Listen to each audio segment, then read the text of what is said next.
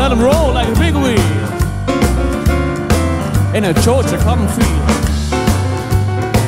Hey.